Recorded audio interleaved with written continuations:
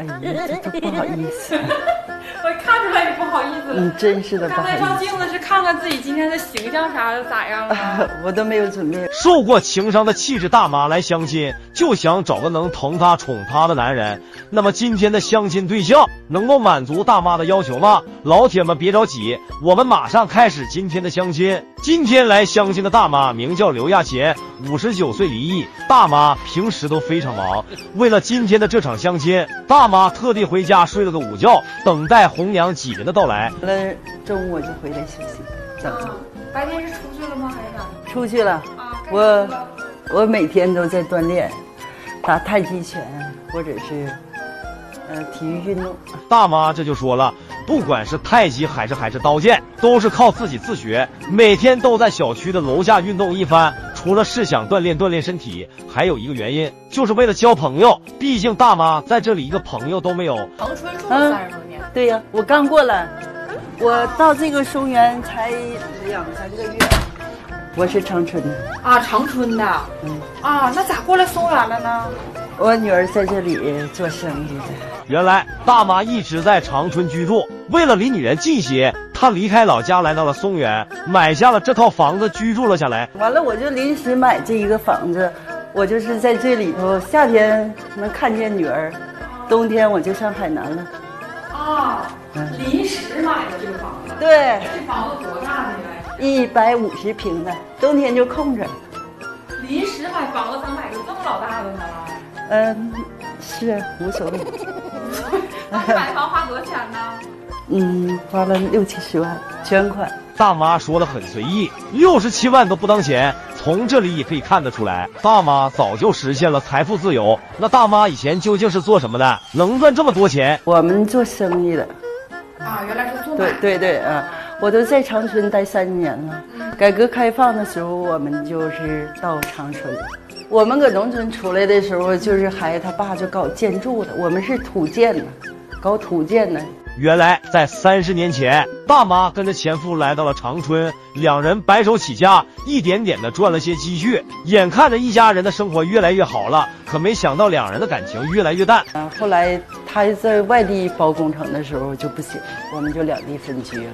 那你两地分居搞工程的，你想想，他又找一个就是岁数很小的，然后呃又给人不少钱，就是特别特别的让人容忍不了。老人说，男人有钱就变坏，刘大妈的前夫也没有例外。前夫的出轨伤害了大妈的心，不光是内心，身体都差点气出病。啊，一气滞，就这乳房都肿，就是到那气儿到这块儿就不往下走了，完了就搁这块儿就就天天就那，就上五楼，我长春的房子五楼，上五楼我都上不去，我那身体都到极致了，都已经都出不来气儿，上楼都上不来，都气到那程度。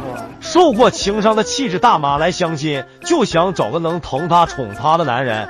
那么今天的相亲对象能够满足大妈的要求吗？自从前夫外面有人，就天天跟大妈闹离婚，大妈气的身体都有了毛病。也就是那段时间，大妈开始迷恋上了锻炼身体，除了强健身体，也帮助大妈走出了那段黑暗时光。至今为止，一直过去了五年，她一直都没想过再找男人。但是自从离开长春，来到松原买下这套房子后，连个说话的朋友都没有。大妈觉得一个人的日子太过孤单了，于是大妈有了找个老伴的想法。长春的时候有朋友跟我玩，就是有很多，就我是爱好多，有很多朋友不寂寞，呃，不想找，受的伤害太重，我也不缺啥。完了到这儿吧，我到这儿了四五个月哈，我出去坐公交车上体育场都丢了，坐公交车坐反了，到这儿人地两生的哈，就是一个朋友都没有，就一个姑娘吧，做生意可忙了。就是剩下我上哪儿去一个朋友，就是都都都没不认识，我这时候觉着还孤单，那么大妈想找个什么样的男人呢？满满眼都是我哈，就一个男人哈，不管你有多大能力，你就有大能力哈，他的心里头百分之十的心思在你那，你都不幸福。他没有能力的时候哈，他哪怕是扫马路的呢，他百分之百的心思都在你那，你就是幸福。就是无论这个条件怎么样哈，但是他心里都是装着你，你就感觉幸福了。嗯，有要是最好能有共同的爱好。没有也可以，呃，没有共同爱好，我也尊重别人的想法。我这个人特随和，他有多少钱、多少房子、多少积蓄那都无所谓，就是你工资高一些，两个人花不够了，我可以添。毕竟大妈自己啥都有，她不在意物质条件，更在意的是男人对她如何。了解到大妈的要求后，红娘想到了一位大爷。这刚见面，红娘就看到大爷满脸伤痕，震惊了。哎，这脸咋的了？我说胡子昨天刮的，都刮破了。那金矿刀片不？看来大爷为了今天的相亲，能给对方一个好的印象，也是拼尽全力了。还淌血呢。那跟咱不亲啊？那先先擦擦去吧，先擦擦哈。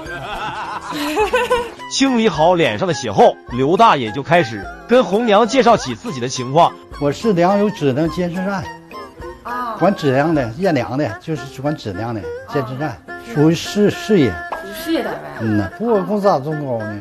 一般粮食退休都是，呃，三千左右，啊，那你开多少钱呢？五五千一百零五十。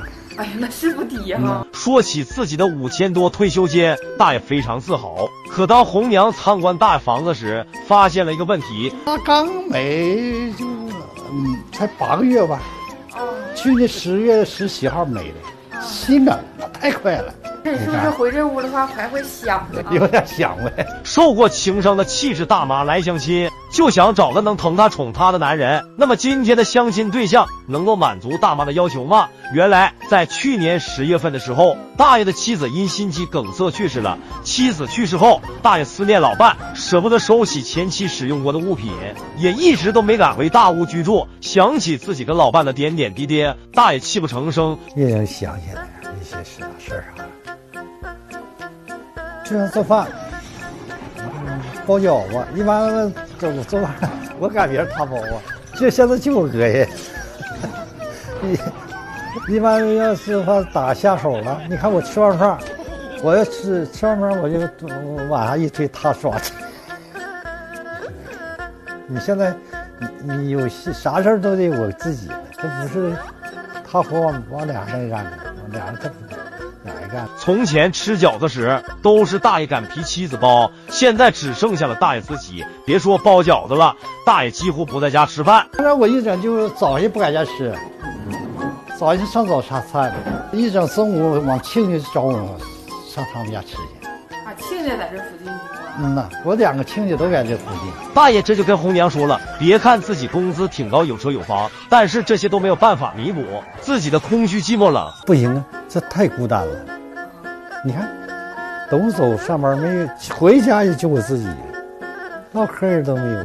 那么现在大爷想找个什么样的老伴呢？五十八只只有六十四嘛之间的，有双保，嗯、身体好，嗯、性格性格好点的。你像就像我的性格是这这这柔和点的。得知大爷的择偶要求后，红娘觉得大爷大妈挺合适的，于是便决定给两人牵个线见见面。那么他们彼此是互相心中的那个他吗？我们拭目以待。他能说出这句话，我已经很满意了，真的。当时真的我感动好像眼泪就要来了。画面中的这个女人是今天来相亲的女主角，那男嘉宾究竟说了啥，让她如此的感动呢？那个梁玉学梁大姐嘛，哎呀，这个上面着急，我干活，我就赶紧过来接呢。我看着他找不着屋啊。梁玉学，梁大姐五十五岁，经济收入五百元，有双胞。梁大姐曾上过我们的节目，并已经牵手成功了。那为何梁大姐今天又来相亲了呢？她抽烟，完还喝酒，完她说为了我能把烟戒他，他说酒不能戒。完我当时吧，也就是挺执着的，我就是抽烟喝酒是绝对不行的。经历了上次的相亲，那如今的梁大姐对找另一半有啥要求呢？嗯，他得有责任心，有担当。我不有点机会嘛，三万多块钱机会嘛，可以打工挣钱。就比方说，把我这个房卖了，我这钱我也还上了。这个不是需要用它来还，但是能考验这个男人有没有责任心。对呀、除了考验这个男人有没有责任心之外，梁大姐还有一个要求。还会唱歌才好呢。我我喜欢听歌，我不会唱歌，但我喜欢听歌。喜欢根据梁大姐的要求，红娘给她介绍了一个吹了几十年的唢呐，跟各种乐器打了一辈子交道的冯大爷。那有一技之长的冯大爷，会是梁大姐所要找的人吗？这个是冯玉祥，冯大哥。啊，您好，您好，啊，哎，你也介绍一下自己啊。我叫梁玉学，一见面，两人对彼此的第一印象都还不错。符合我的心理，这个挺好的。哪块儿比较符合？五官上、说话上都都挺好。他个儿也行，完了吧哈，他坐那嘎说话哈，这个言谈举止也都行。参观了一下梁大姐的家后，冯大爷产生了这样的想法：人家这住楼房能愿生，就是我觉得他也不干。我觉得好像不能。这是我自己摘的，我吧一一摘葱的时候啊，大哥我就买了五块钱的小葱，就全摘了，不就密密麻麻的吗？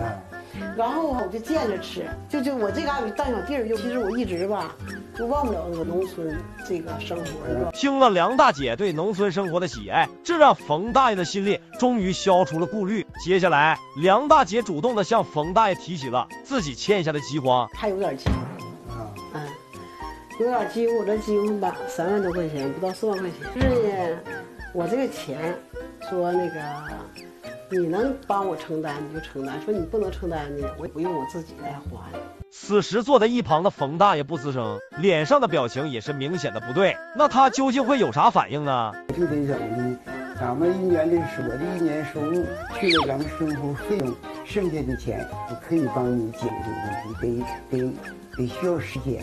我给你点赞，这就足够。听了冯大爷诚意满满的回答，让梁大姐很感动。他能说出这句话，我已经就很满意了，真的。他最起码哈，他就是真的他是喜欢我的人，他会说那么说。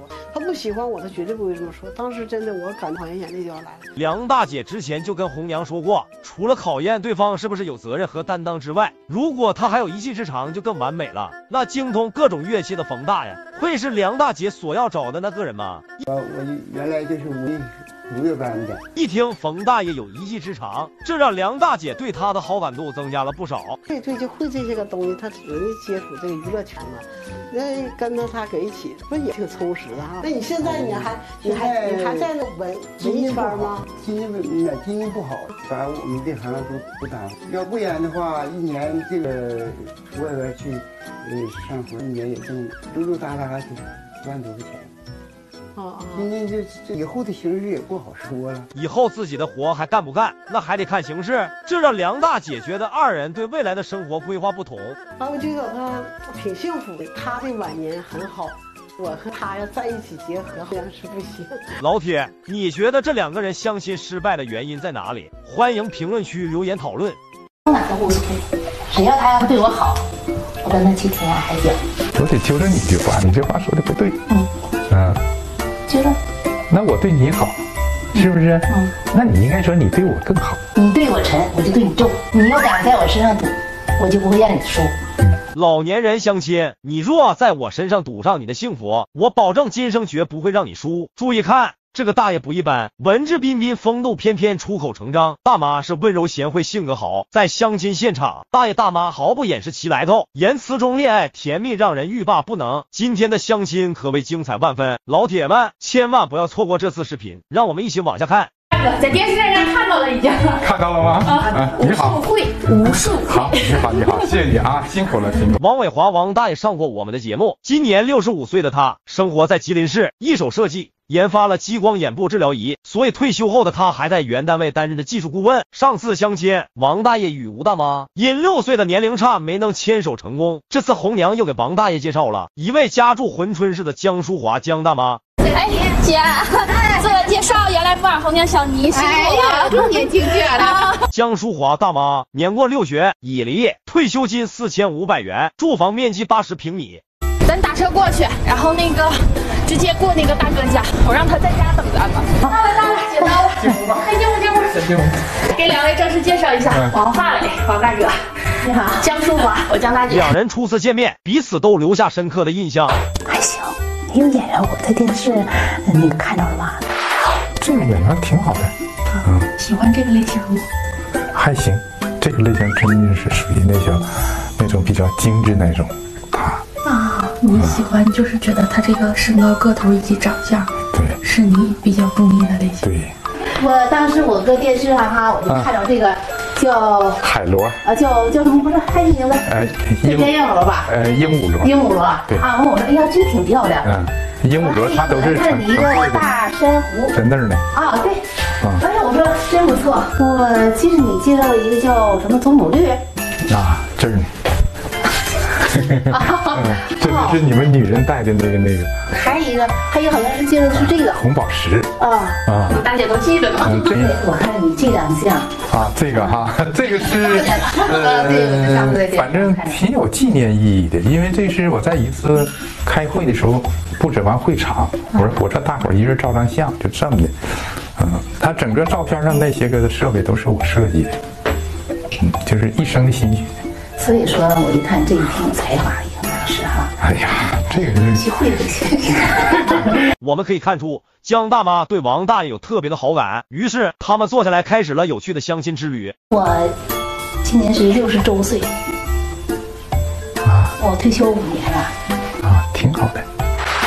你看多好啊，六六十岁，是不是？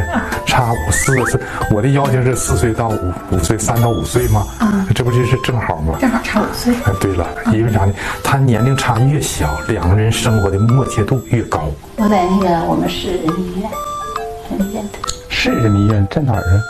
我们珲春市你这珲春的，去过吗？去过呀？哎，珲春怎么样？你去过？我觉得小城市挺好的，可干净了。啊，反正现在也是嗯、呃一个人生活，儿子呢在外地，不在身边，儿子媳妇儿就在嗯、唐山那边，我给他们家，唐山那边上班。哦，他是珲春的，对，这个他坐车得要坐动车得两个多小时吧？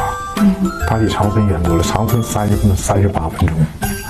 嗯，这点呢你你你这块儿这个要仔细考虑，因为他咱说了，他回回回趟家都挺困难。弟弟这个吧，我一开始我跟他说，我说我现在一个人，到哪都无所谓，只要他要对我好，我跟他去天涯海角。啊，去天涯海角。我得纠正你一句话，你这话说的不对。嗯嗯，纠正那我对你好，是不是？嗯，那你应该说你对我更好。是啊，我我当时我心里我这么想的，你对我沉，我就对你重。你要敢在我身上赌，我就不会让你输。哎呀，这话说的，哎呀，江大姐的性格的确讨人喜欢，相中了就大胆表达出来，不藏不掖。接下来心直口快的江大姐更是直接向王大哥提出一个大胆的问题：你今天看到我的时候，第一眼的眼神怎么样？哎呀，这个真挺难的，但是我觉得人还挺好的，真的挺好。打多少分？这个可有点难，我也不会打的。给大哥难住了。嗯，实话实说呗。实话实说，我真不会打分儿啊。那个，但是这，咱说不是说人演员怎样，我觉得人还可以，挺好的，确实挺好的。就是他这种人一瞅啊，就看特别有精神头，精神头。精神头开开朗是不是？嗯，性格特别开朗。你你看他说话唠嗑，他就能看出来。你喜欢这种性格吗？性格开朗的好，有有什么我就说出来。你像他这就是，我有啥想法我就说，嗯，这样比较好。这样的话对生活起来，那你说出来总比憋在肚子里跟你置气儿不强多了吗？看得出王大哥对江大姐开朗的性格也是非常喜欢。但接下来在聊到关于健康的问题时，现场的气氛却一下子紧张起来。身体怎么样？身体是亚健康，我现在就是，呃，亚健康是怎么？就是十年前是个病秧子，嗯，毛病多，高血压、糖尿病，高血压，嗯，高血压，那你现在呢？现在它也不高啊。糖尿病吧呀，以前刚发现前儿挺重，但是现在就也不重了，因为怎么控制的？嗯，我本身就是不抽烟不喝酒，这个就把病控制了一半儿然后在饮食上我又特别注意嗯，啊，那现在这空腹应该是多少？控制到要五到六之间。他说的他的高血压，嗯，治好了，也许我相信，但是血糖他现在打胰岛素呢。嗯，对。啊，他打胰岛素控制一下，嗯，这点建议。要控制好的话，他要是空腹的话，六点几、六五点八、六点几都还可以，跟正常人差不多。嗯，跟正常人差不多。但是就是怕以后岁数越来越大，会不会出现什么问题？是那样的。你不说岁数越大，咱们也有岁数大的时候。人嘛，吃五谷杂粮都不可能是说是不得什么毛病，这都是。对对对。江大姐表示，虽然王大哥有高血压和糖尿病，但毕竟现在都控制的不错，以后再好好调理调理，应该没什么大问题。此时现场的气氛也有所缓和，但接下来再提到工资卡上交这个问题时，现场的气氛再度紧张了起来。别人都是让我交工资卡呀，要零花钱呢，嗯，那我不知道你咋想的？那你愿意交不愿意交呢？那这个不能交，那这个也钱也不能给啊。啊，因为我觉吃吗？随便管口，想吃啥咱买啥。这个吧，说实在的，确实是，呃，工资都有，也都够，交不交是你的事儿。我不找你的时候，我没有你的时候，我照样生活的挺好，对不对？那我不说为了找你，呃，就为了要钱、要权，嗯，没有用，累。他说：“他说这个工资不交，我说你不交不交，要我饭吃就行，我不管。”啊，是不是？不不非得说把工资卡掐到手里，我掐那工资卡还不是在家花吗？那他花去呗，是不是？嗯，就是不是非得就是掌握经济大权的，不是？不是，我不想你这管。其实我这么多年我一直管了，单位管，家里管，累，管累管了啊，还得省心。我现在也想找一个肩膀靠一靠。挺好的，真的挺好。嗯啊。也挺开朗，人家也不是说我就是奔着你钱财来的怎么样，所以我就是在讲嘛，看人咱们就可以谈下去，看条件咱就不谈了。嗯，接着说，饭能不能吃饱？管够。但是你现在来说，我跟你说，你的血糖，嗯，好好控制。现在已经控制非常好，这么多年，嗯，一直就稳定在这一值就不动了。我希望你永远永远健康，永远永远别发胖。知道吗？争取呗，嗯，必须的，不争取。太甜蜜了，太令人陶醉啊！最后二人的相亲宣告成功。好了，老铁们有什么想法，请在评论区留言。喜欢星空的，请关注不迷路，长按红心点个赞。我们下期再见。这个十块，这个是十一块钱，这个，这这都是五块钱一瓶。温柔贤惠会过日子的许大姐，六十二岁，在公寓做客房保洁，月收入两千一百元。大姐发型真洋气，发型这这叫属于什么烫呢？这也美。发型就也美，就喜欢这就就就瞅脸型吧，就比那比比像梳你们这头发，就像得劲儿似的，好看似的。我觉得显脸小，对，显脸小。问我脸可大了，就为了显脸小。对，红娘你瞎话怎么张口就来？大姐这发型就是为了显脸小吗？我咋那么不相信？我还说是为了遮风挡雨呢。在婚姻方面，前夫出轨离婚时，因为孩子前夫抚养，所以大姐啥也没要，净身出户，除了现在每个月的打工收入，啥也没有。虽然收入低，但许大姐是过日子的一把好手。我衣服从来没有贵的，我最贵的衣服就四百多块钱的衣服，我都是像我穿这个都是几十块钱的衣服，没有贵衣服。我宁可把这一千块钱吧买个哎三套五套的，三套五套六套七套的，一套一百多块钱八几十块钱买这个，我多穿几套，我不穿那一套贵的，我就这个想法，你知道不？化妆品我从来没买过套盒，从来没买过。我买的化妆品都搁网上买，五块的、七块的、八块的、二十块，最多二十块钱一瓶。现在年龄大了，工作不好找，也没有劳保，就想为以后做做打算。于是红娘想到了他是勤劳的谢大哥。谢大哥一米八五大高个，退休工资三千二百元，五官端正，小帽一戴，人群中一瞅，回头率相当的高。虽然退休了。但不闲着的大哥一天还打两份工，白天送货，晚上打更。不得不说，黑皮大衣一穿，确实帅气。虽然是房上没草，但依然掩盖不了身上散发的文艺气息。大哥从小爱好画画，特别是油画，临摹的世界名画不少，画的也挺像样。曾经的老伴也是因为共同的爱好而走到一起。老伴去世后，谢大哥每天打工上班，日子虽然充实，可总觉得心里缺了什么。啥你别图，我也不图你啥。咱俩你这一心是奔我过日子人来的，你就好好去跟我过。大哥要求简单，只要一心过日子就行。那么贤惠温柔的徐大姐和谢大哥会擦出爱情的火花吗？一见面，大哥一米八五的大高个，瞬间就把大姐征服了。哎呀妈，我心都直跳。个性，这我挺喜欢。不喜欢喜欢高高个的，大高个。喜欢嗯，对对。挺好，不错。长得也行，嗯，确实也行。见面后的两人彼此印象都不错。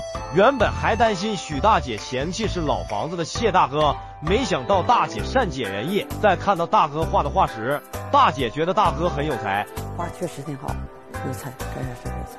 你看他回家边上画画，那也还消磨时间，还动脑，大脑活动还好。到岁数脑袋活动可能比比那个啥不行强。大哥很高兴大姐能懂他、欣赏他。在聊到消费、过日子方面，大姐说：“这个我最在行，你放心。我非常简单，我穿戴从来没有最贵的衣服就四百多块钱，最贵的衣服都是几十块钱。我像我穿这都几十块钱的衣服。我化妆品啥的，我没有一个说成套盒买的，就几百块钱的没有，都是十五块的、六块、十块、八块的，最多二十块钱一瓶。就那一堆，也不值，也不值个五十块钱。”在过日子方面是没问题了，可大姐还是有个担心，自己既没房子也没劳保，谢大哥会不会介意？我没有退休金，那个第二呢，我也没有房子，也没有房子，我现在租房住呢，反正条件就这条件，你要介意的话，那我你再考虑考虑。就是说人要好不在房，就是咱这样就跟咱过也不踏实点。就是这意思，他是有房的话有啥的话，就跟咱也不踏实，就是这意思。要真是干啥的话，他真有那个心意，咱们像样的过，就是这。他心里不奔你这头，不像说别的。他是真有房有啥的话，就跟你谈。我没觉得，就是这意不像他这呢，那个老鸨这话说来，多说来说也别说没有，有一个都无所谓。但人要是好的话呢，各方面都行，也就无所谓。虽然大哥表明了态度。大姐心里还是有些不自信，所以主动邀请大哥去参观自己租住的小屋，然后再做决定。一到租的房子，大姐就向大哥开始介绍。这我临时穿的，完那都挂的都没地方挂，挂那嘎达去了。看我这化妆品，看多简单，看没有成套的，都是这样式的。这个十块，这个是十一块钱，这个，这这都是五块钱一瓶。环境虽说简陋，但被大姐收拾的很是整洁温馨。看着一旁的谢大哥，大姐很担心大哥会介意自己没房子。东西各方面料的哈，真的比较打理的比较好一些，瞅着比较顺眼。真的，你这日后要是过家呢，再对自己有房子，不就更好办了吗？就说目前呢，就说现在呢，瞅着都挺不错，挺好，挺有眼缘。大哥觉得大姐把房子收拾的挺干净利索，是个实实在在过日子的人。而且大哥觉得大姐这样的条件挺好的，大姐没有自己的家，所以就会更把俩人的家当个家，未来的日子也就会更踏实。于是两人决定先交往了解了解，咱们也希望俩人有个好结果。这期到这里也就结束了，喜欢的小伙伴长按点赞、加关注、评论、转发，我们下期见。你的钱你管着，然后大哥负责生活费的开销。对呀，完了你再给我点零花钱啥的。六十三岁大姐来相亲，供着吃喝一毛不拔不说，还想再要点钱，结局大快人心。来相亲的大姐芳龄六十三，自己有套四十八平的大豪宅，每个月一千二的退休金，生活过得那是非常节省。你看这头发，估计都是用烧火棍自己卷的。我是自己交的养老保险，才开一千二百块钱啊，自己交。对，反正愿意穿，工资低，我也不买贵的。一顿操作猛如虎，工资不到一千五，大姐倒是想买贵的，看一眼钱包，还是光想一想算了。你看这些衣服，加起来才百十来块，简直是白萝卜扎刀子，一点血不舍得出。这鞋跟儿啥的穿坏了就这都是后钉的，对对，鞋跟磨偏了。磨偏了就就再再去长，后长的，对，都是后长。这鞋穿多长时间了？这鞋穿三年多了。穿三，那这鞋多少钱呢？这鞋四十块钱。四十块钱的鞋都能穿三年，要是买个真皮的，大姐能穿到把自己送走。好听点叫会过日子，不好听的就是蚊子放屁，小气。这是你全部的化妆品吗？对，这这是十块钱一瓶的。这个是保湿的，这个是粉那个粉底，这些都多少钱呢？加一起才二十块钱呢。加一起，对，这些样一样、两样、三样、四样。这口红是两块钱买的，这口红两块钱买的呀。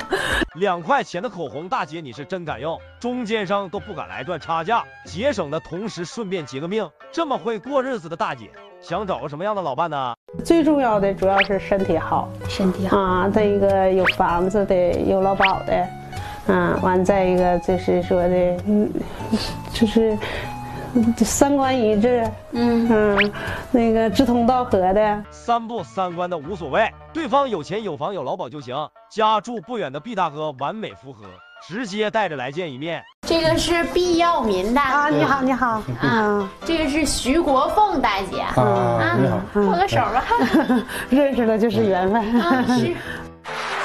反正第一呃最重要的第一步就是看眼缘嗯嗯，看眼缘眼缘过没过？过了。瞧他一般，一般一般人呗。嗯，还挺憨厚的。光大哥那脖子上的金豆子，那演员能不过吗？这么粗的金项链，大哥指定有颈椎病。婚姻状况是离异呀，还是离离离多少年了？二十一年。离二十多，那在中间再找没找？没。啊。也始终那阵儿上班啥的也啊。你什么单位退休啊？金陵碳素，长春上。啊。金陵碳素。说句难听的，知道的是你俩来相亲，不知道的以为是母子相认。大姐看到金链子，高兴的嘴都合不上，马上就说了自己最关心的问题。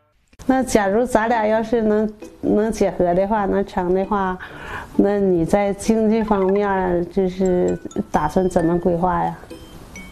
这个就是咱把工资俩人都都搁在一起，撂家随便你拿着买啥你就拿。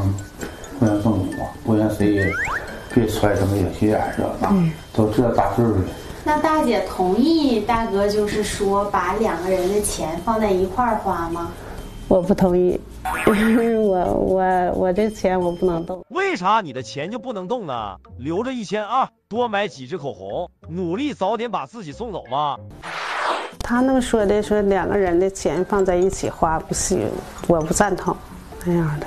就是我不能去当免免费的保姆去。从我这钱这方面，就人家干啥以后更合我心，过我这就。谁让你去当保姆了？大哥要是找保姆，那不得找个红娘这种级别的吗？供着吃喝在一起，一分钱不出。小母牛坐火箭，牛上天了。嗯，那大姐就是你的钱你管着，然后大哥负责生活费的开销。对呀，完了你再给我点零花钱啥的。还要点零花钱？嗯，那大致是多少啊？那看人家人家咋想的。大哥咋想的？大哥想的铁公鸡事主还是吵，不问你要点就不错了，供着吃喝再给你点零花钱。你要是长得和想的一样美，那也行。晚上出门不开灯，能把活给吓跑。来相亲前没照照镜子吗？你自己有钱，你还要零花钱呢？那你说，就是以后有有有点啥事儿的，买点啥东西啥的，能能总去能总去管他要钱去吗？你都买啥东西？你这么节俭，你买啥东西？那你人到到老了，就是吃药这方面，这是个大问题都。不都有医保吗？我的医保不能买药，我是社区交的那个。其实我这么觉得的，大姐，感情这东西在处，你知道吗？啥都？是啊，我也是。那处好了，还备不住说的，我一分不要，我都给他的。就是我愿意给我，我花他，我我在他身上花多少，我都愿意。这是处好了的情况下。听姐一席话，懵逼三分钟。大哥听到大姐这样的还想要钱，那手摆的比拨浪鼓还快。看着你刚才这刚才这个手势，啊，这走走，跟我暗示。对对。这。不再多了解了解吗？不不不不，大哥哪还敢多了解了解？要是真成了，不知道的还以为大哥认了个后吗？两个人在一起就要都付出，哪能是光花大哥的钱？我说我俩的没有那个业缘，所以呢去处个朋友。行，可以。哎，嗯。供你吃喝，再给你开工资，你干脆进庙里当菩萨吧。夜里睡觉吃猪头肉，你这一天到晚净想好事。关于这次的相亲，你有什么看法？欢迎评论区讨论。长按点赞支持一波，关注我，天天带你乐呵一下。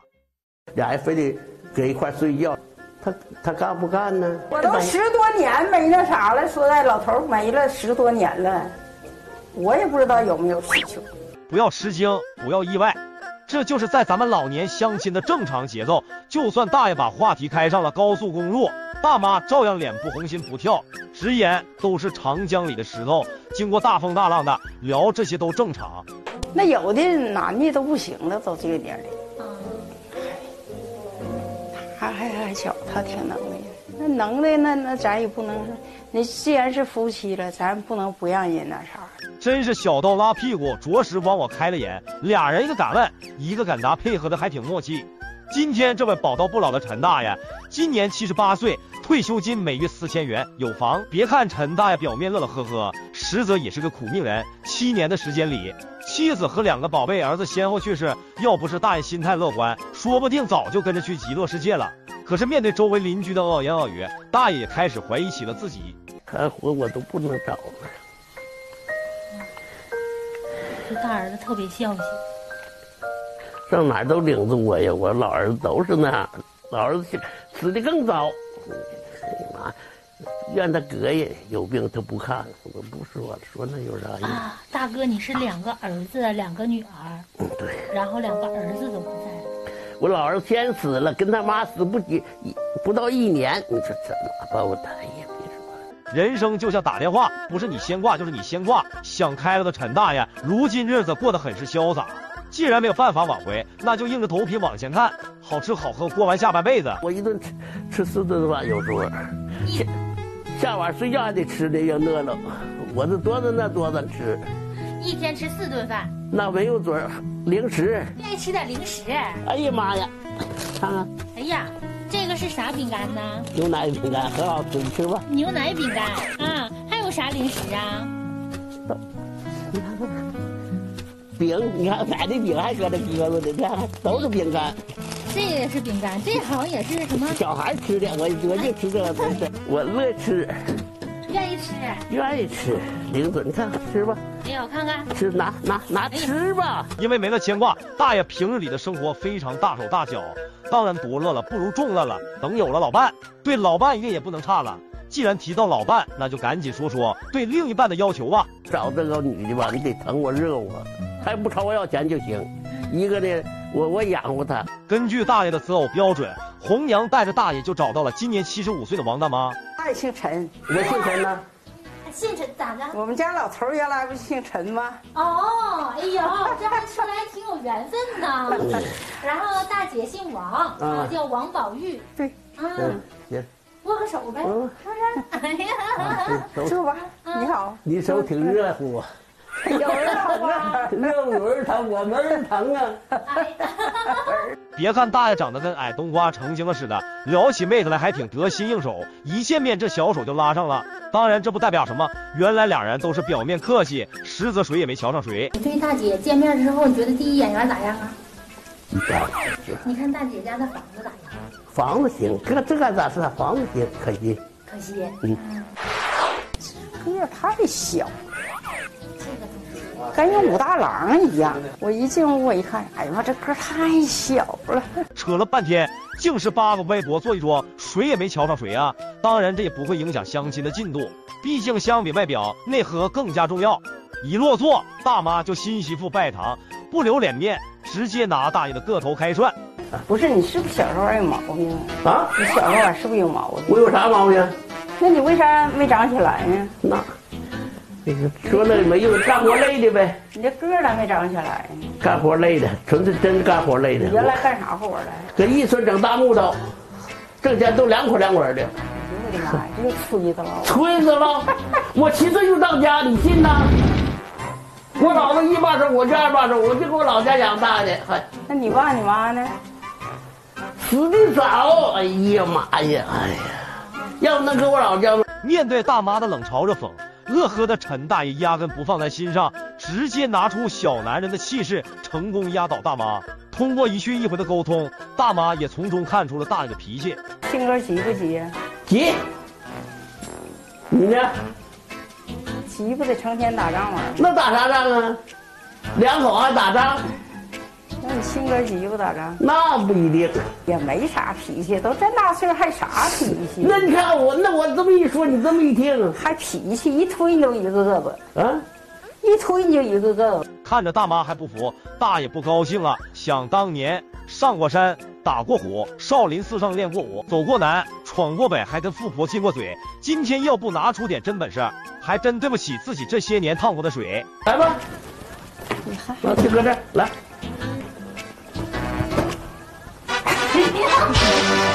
拉个干啥事我都不服你们，真的。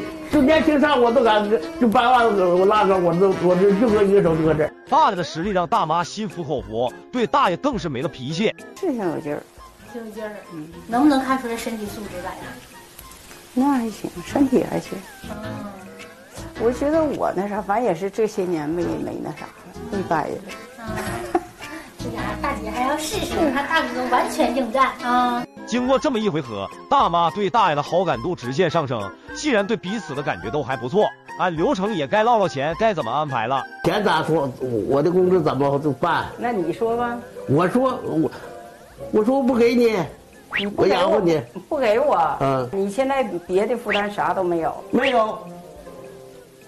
我就俩姑娘，我有啥负担呢？我也不管他，他也不管我。那你还留个心眼啥意思？我留啥心眼啊？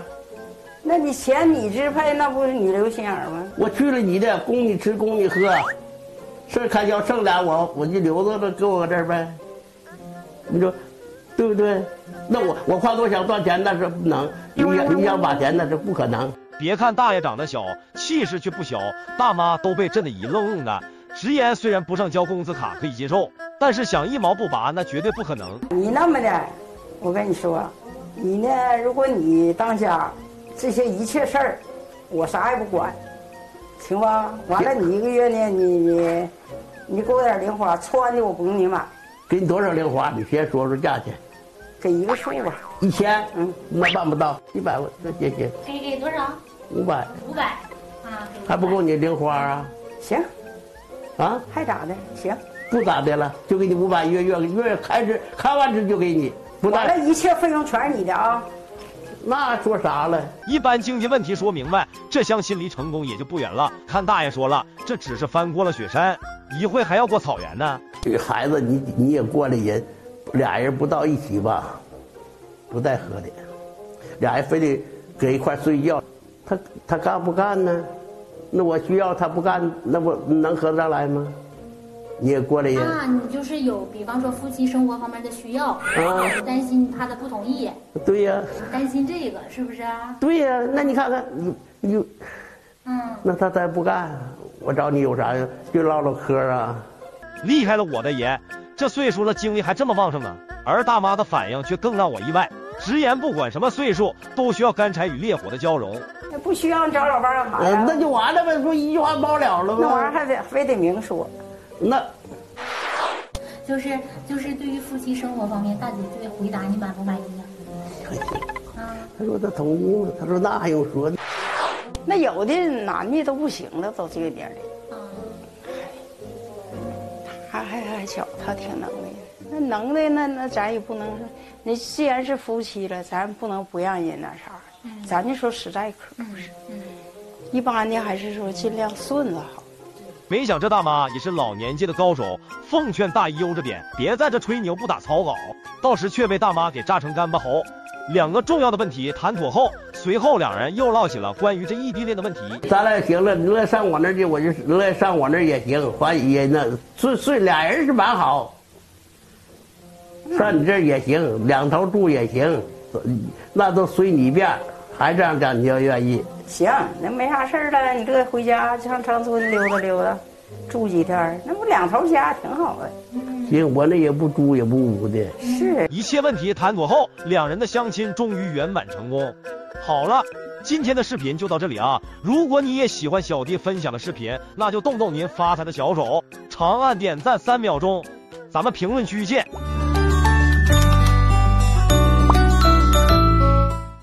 他的老伴刚去世，老伴去世多长时间了？今天二十三天。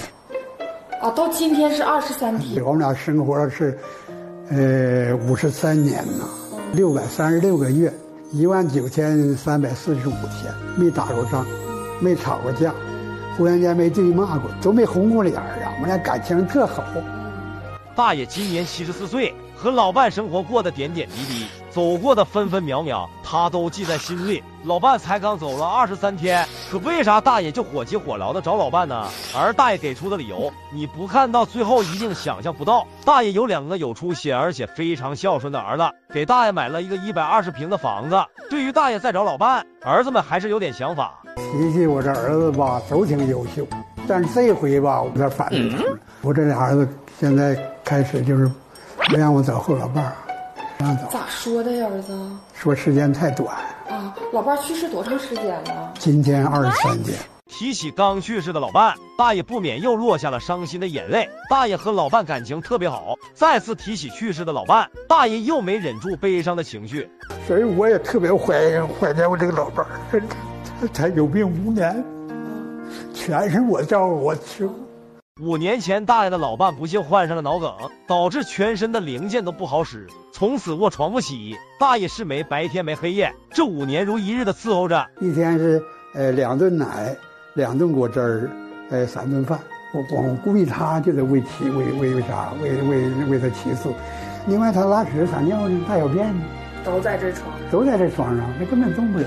没照顾过病人的，可能体会不到，其实真的是一件非常特别辛苦的事。长期的这种生活，大爷整个人都给整抑郁了。这所以说，我现在没法，我在这屋就像蹲监狱似的，都像远景似的，憋的，就是憋的。为了能摆脱这痛苦的压抑，为了早日摆脱心里的孤独和恐惧，大爷决定想早一点忘记曾和自己朝夕相处五十多年的老伴，来缓解自己的精神压力。他既然他已经故去了，你哭也好，喊也好，他也不能回来了。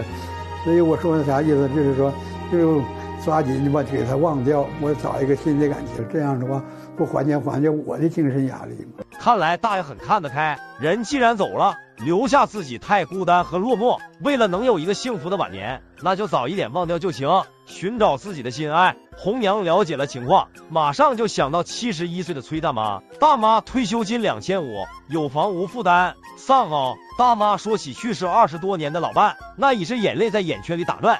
那天我就记得，他就跟我说：“嗯，要有来生啊，我还跟你，还有来生吗？”大妈的前夫是个文化人，从来不说脏话粗话，俩人相敬如宾，感情相当好。丈夫的突然离开，心里充满了留恋与不舍。哎呀，我心里就寻思，他还跟我俩不没过够吗？我也没过够啊。那天我就寻思，把我这寿命给他点儿。一晃二十多年时间过去了，自己也上了年纪，就想找个身体好的，能互相有个照应。我挣着点钱也够花，咱也不想花人家的，我就寻思找个伴儿，我们俩互相陪衬的。真，我不是说我咋富有，反正我也够吃够喝的，现在就缺个人陪伴。红娘也不墨迹，很快安排了俩人见面。看大爷漂不漂亮？漂亮，漂亮啊！这一身可端庄了，是不是？比我漂亮，比我漂亮。哎呀，哪能那么说呢？那杰大哥咋样啊？你大哥也挺漂亮的，漂亮啥子？俩人对彼此的演员都很好，好的开始不就成功一半了吗？大爷更是热情的给大妈扒起了香蕉。香蕉甜不甜？甜，香蕉也是甜，也是搁这吃甜。吃在嘴里甜到心累，一句话表明了大妈的心意。大爷一听，顿时是小母牛坐飞机，美上天了。那就说明他对我也有好感是不是？这心里高不高兴？那高兴了，当然高兴了，能不高兴？大爷是实在人，主动交代了自己老伴刚去世二十三天的事情。毕竟一般人不理解，不知道大妈是啥想法。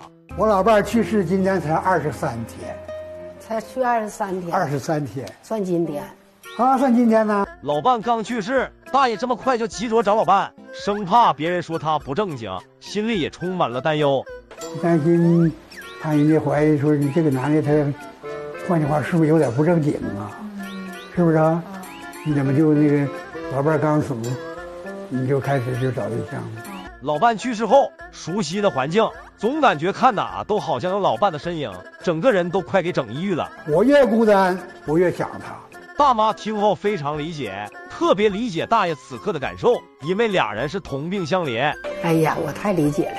这是二十三二十三天和二十三年，反正都是那个意思，反正时间长短的事儿，都是拿人心比自心换的。二十三天和二十三年只是时间长短不一样，但是痛苦的感受是一样的。大妈非常善解人意，还说只有经历了才能感同身受，没经历过的根本体会不到。我一说，我这脑瓜皮都舒服。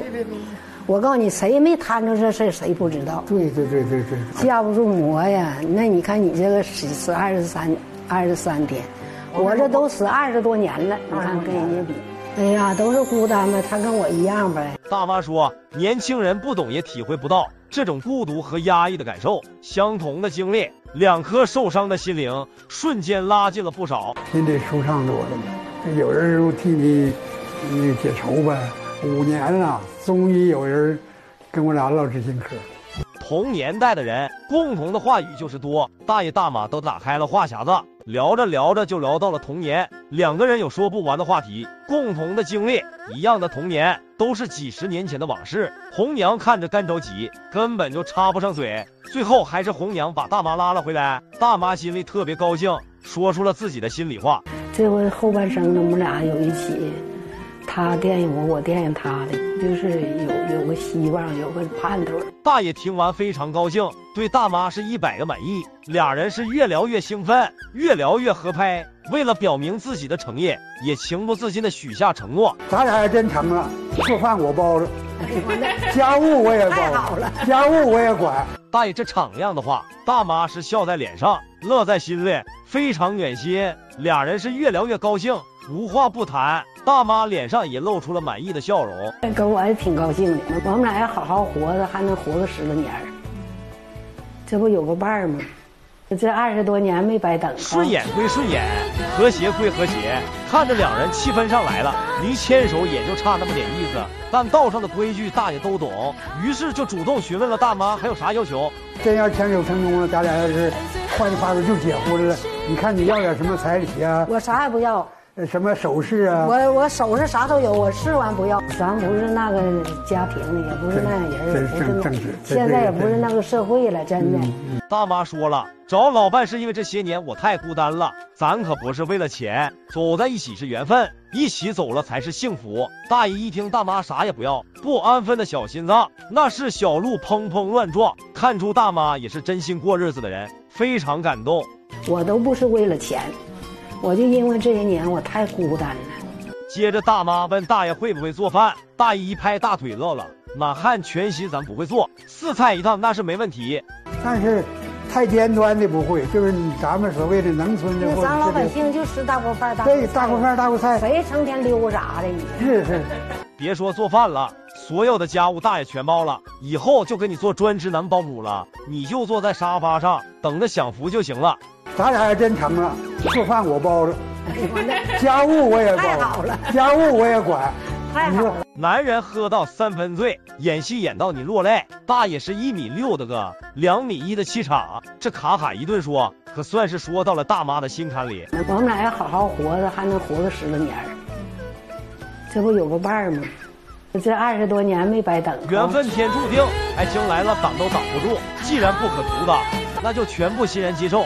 可现在还有一个问题需要俩人去解决，毕竟大爷的老伴刚去世才二十三天，咋过儿子这一关呀？为此，大爷倒是想了一个办法。这咱俩这如果都看好了，能牵手，还处几个月，要是能行了，我上你那嘎住几个月，完过年了，过过到过一周年了，咱再回这头了。那也行，你看这么着行不行？我没意见。天都快要黑了，俩人仍然是意犹未尽。于是大妈就邀请大爷到她家里做客。第二天一大早，小雨也挡不住大爷爱情的脚步，提着好些水果，还特意给大妈带了一袋大米，还有两盒暖心的降压药。那是那定是。大妈也是早就买好了面条，准备给大爷做有象征长久的面条。为啥要煮面条啊？那长长久久嘛，面条不是。吃饭的场景也是十分的温馨，大姨再一次品尝到了爱的甜蜜。我跟你讲，我都太十足了，太十足了。嗯，大哥，嗯，俩人吃一个吃香香。那就祝愿大爷大妈早日步入婚姻的殿堂，有一个美好的幸福晚年。好了，关注我，带你围观有趣的相亲。谢谢你的陪伴，我们下期见。我想要五千块钱。六万肯定是，那能承担得起吗？相亲大姐太敢要钱，见面张口就是五千块，吓得老头不敢说话。大爷方龄七十岁，做饭种地他都会，一月工资五千元，小日子过得还挺甜。叔，你这种的都是啥呀？辣椒，啊，大萝卜，萝卜搁哪？大白菜。这边是豆角，嗯，这边是黄瓜。大爷可算是把种地给种明白了，这些蔬菜绿色又卫生，辣椒炒豆角隔壁的小孩都馋哭了，一边种地赚钱，一边还能供孩子上学，那是拉屎薅草一举两得。嗯，那个毕业了考研，啊，要考研。嗯呐，我说行，你能念到啥程度就供到你啥程度。哎，我说那个爷爷你不怕花钱，只要你学就行。他俩一年就得四万块钱。上学。嗯呐。虽然是对孩子们百般疼爱，但是大爷明事理，对另一半绝对亏待不了。生活方面呢，就是哎，既然我说你了，我就能养活起。对孩子方面，你得体谅。起码来讲，孩子这有些事儿的话，你不不去这个说去，你可以跟我说。现在六十多岁都有这个姑娘、儿子、孙子、弟女，他怎么相处的话呢？他自己处理不好，那是他个人问题。能处咱就处，处不好你自己找原因。我能包容他。比如说孙子和你未来的老伴中间要是发生了点矛盾，我首先我得说孙子，因为啥呢？孩子小，完了呢，我再一点点跟他沟通。这大爷一身的正能量，谁要是跟了他以后，绝对是享福了。根据大爷的这情况，红娘找到了家住不远的王大姐。大姐今年六十八，发型整的挺浮夸，身高不到一米六，剩下的全靠头发凑。大姐这头发里面，少说藏了个三室一厅，不去走个时装秀，都对不起整的这个发型。就是不知道见面大爷能不能顶得住。这位叫杨凤义，啊，然后这位叫杨大哥啊，王秀杰，我姓王。阿姨腿脚不太方便，咱上上家里看看吧。来吧，就不上院了，安着点。不要。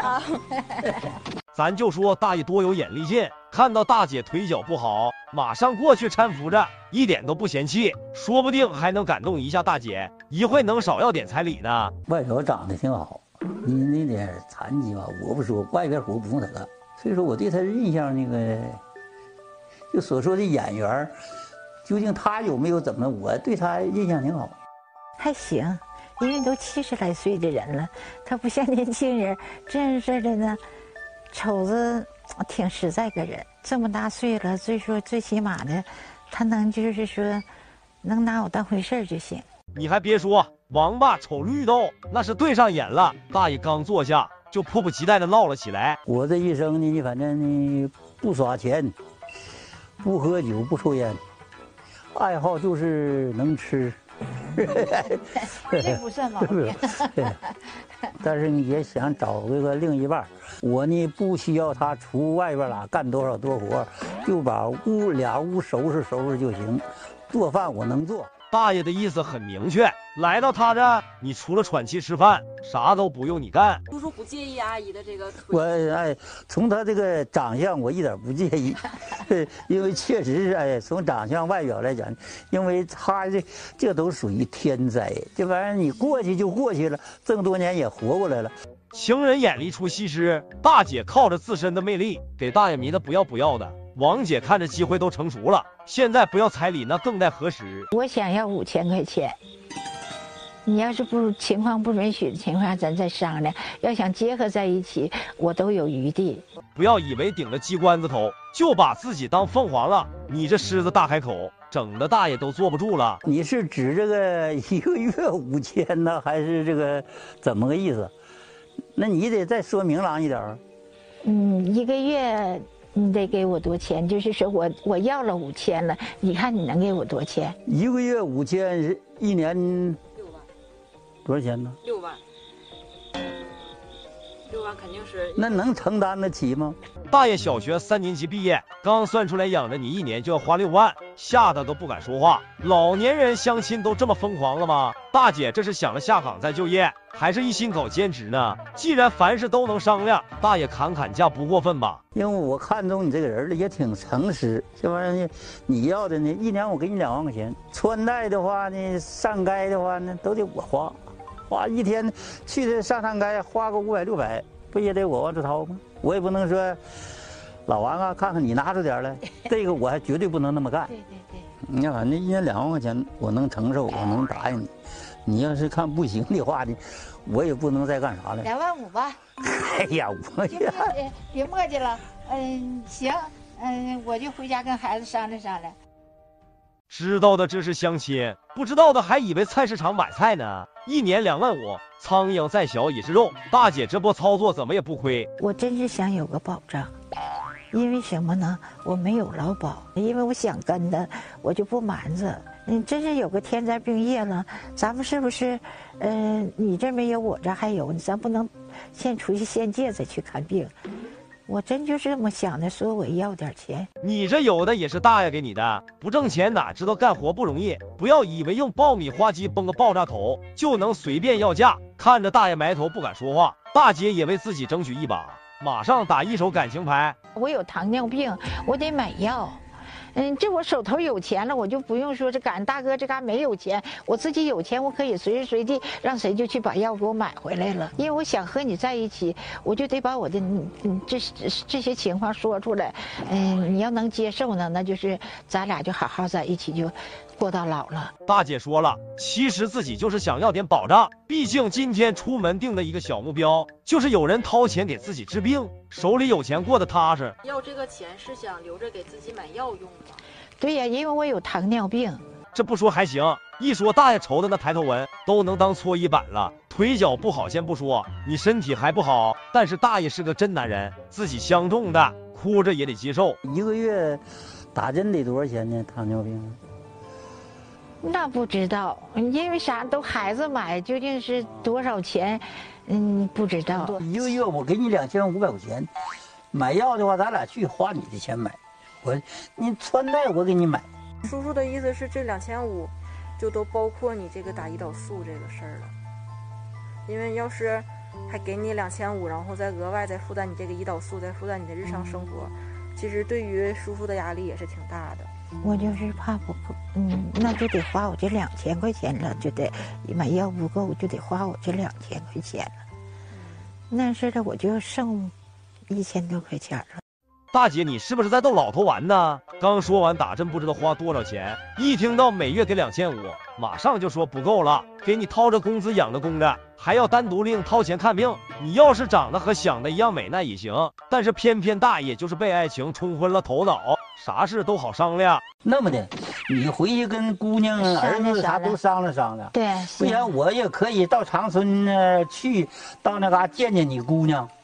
呃，有些病情他跟我一说，我也心里还有个数。阿姨回去跟女儿商量商量，嗯然后叔叔这边呢也再考虑考虑，然后两个人要是觉着没有什么问题，然后你们就联系我，我就把对方的电话号给你们。周瑜打黄盖，那是一个愿打一个愿挨。大姐能摊上这个老头，做梦都能笑醒。